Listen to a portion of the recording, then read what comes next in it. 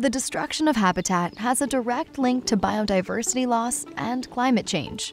Billions of tons of carbon are absorbed and stored in the leaves and soils of natural habitats in Canada. When we disrupt these places, we not only disturb wildlife, but also release that carbon into the atmosphere, speeding up climate change.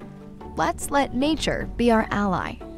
By conserving and protecting carbon-rich natural areas from destruction and restoring degraded ecosystems, we have the power to keep carbon locked away hold on to vital habitats for wildlife, and slow down climate change.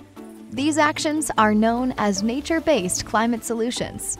That's why WWF Canada is leading and supporting conservation projects that benefit both wildlife and climate. For example, in New Brunswick, prioritizing actions that will have the most benefit for the highest number of species would also have a co-benefit of preventing the release of millions of tons of carbon.